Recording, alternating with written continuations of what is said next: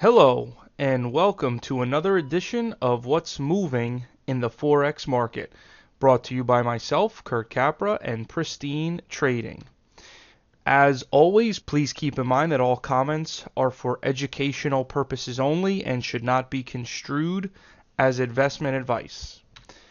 And also keep in mind that Pristine offers many excellent webinars throughout every month. Here is a list of some of the free webinars we've got coming up this week. Today, Monday, July 6th at 4:15, why the Pristine Prop program is the total package, as well as some other excellent webinars as I said throughout this week. You can check out www.pristine.com for the full list and uh, the upcoming schedule.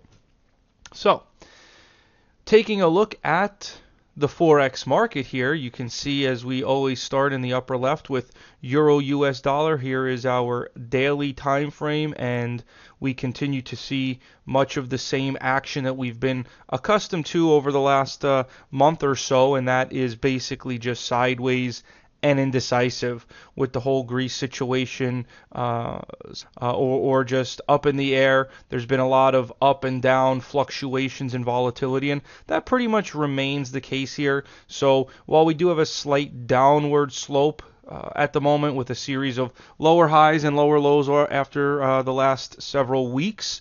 We'll see if the euro US dollar can come on down to this pivot low and then we'll see what happens. But overall, again, more neutral bias, no real strong directional bias at this point in time.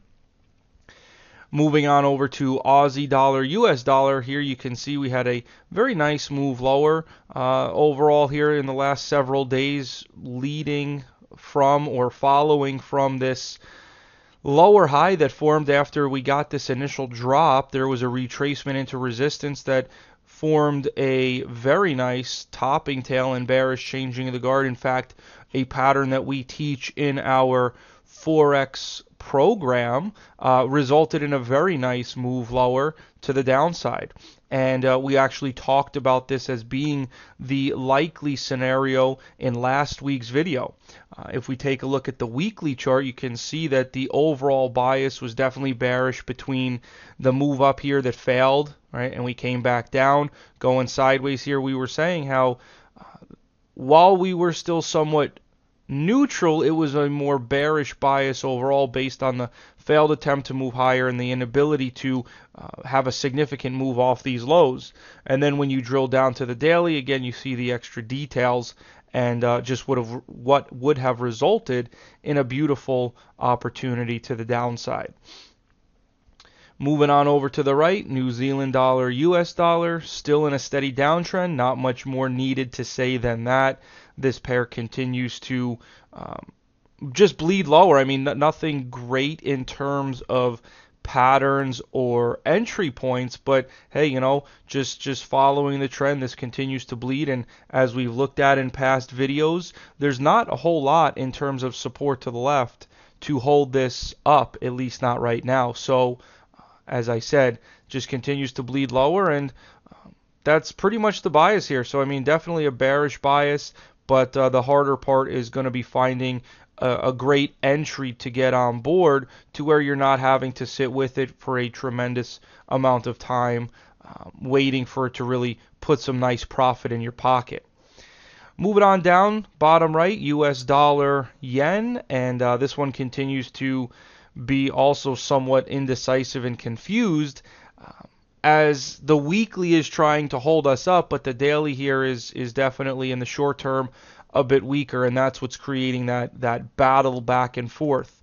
If I switch on over to the weekly, you can see here that the weekly has just simply been pulling back into the prior breakout area, which is bullish, but again, it's been fighting the daily. So um, really just need to wait for these two time frames to come into alignment. And what would need to happen for that to take place is a daily chart which can get above some level of resistance. So at a minimum you know if we can get above this pivot high things will then start to look much more positive for US dollar yen. But until then we could continue to see this slowly work its way even lower. So that's what we'll be uh, on the lookout for is whether or not we can get over this. If we can, know that the larger time frame and the smaller time frame are coming into agreement and that we should begin to see some better follow through overall. Moving on over to the US dollar Canadian dollar, we can see a very nice move up took place last week and here it is looking like it wants to continue moving higher this week. This one was was somewhat neutral overall, but as as the week developed, as we started to see things shaping up, uh, it, it became more and more evident that price wanted to move higher. If we look at the weekly chart, we can see very strong move up from this higher low. So again, the weekly was somewhat neutral to to a bit more bullish overall after this strong move up. Again, we spoke about this in past videos, so you can always check those out to to follow along with past analysis. But uh, in any case, here we have a higher low setting up, which was at least good enough for a move back to the prior high. And as you can see here now, what looks like it's going to move back up towards this uh, prior high from the beginning of the year which would be very nice to see. So going back to the daily chart again, here it is. This was the area where we formed that, that higher low, and uh, price has been able to move higher nicely. This was this was a, an interesting point right here as we started last week, but we were able to show some great strength. And in fact, there was some great opportunity on the U.S. dollar, Canadian dollar. If I show you the four-hour chart, you could have been looking to get in down here, even over here on this breakout. There were just plenty of opportunities for one to have considered along, right? Pull back, support, moves up, another little pullback here, just basically buying this breakout, which would have been an entry above that daily high. Right, I'll, I'll go back here and we'll take a look at the daily which basically would have been buying over this area, this resistance. And uh, as you can see, beautiful run higher.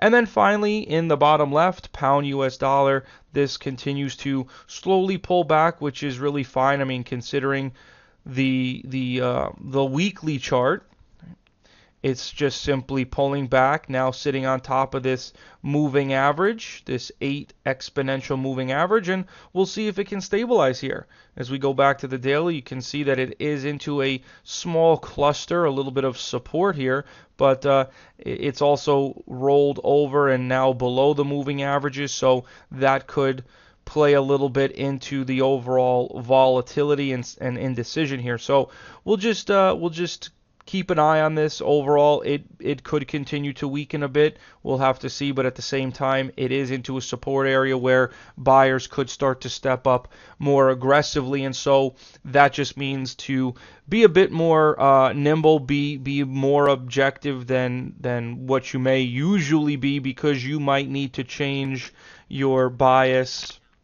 Uh, rather quickly given this environment or given this area. Right? While the smaller time frames trends are weak, we have a daily chart and a weekly chart which are a bit more bullish and so any failures to move lower could result in a in a significant strengthening in this pair. So we'll again have to keep our eyes peeled. We'll have to as always stay objective and be willing and ready to change at a moment's notice. So that's where we uh, where we have things right now. As I said, make sure to check back with our free webinar schedule and register for any that interest you. If you have any questions for me, you can send me a direct email, kurt at pristine.com, or you can always comment in the comment section below on this video. We'll get back to you. And also make sure to like and subscribe so that you can get future updates for any additional videos that will be submitted. Until the next time, stay patient, stay disciplined, and stay confident. We'll see you in the next video.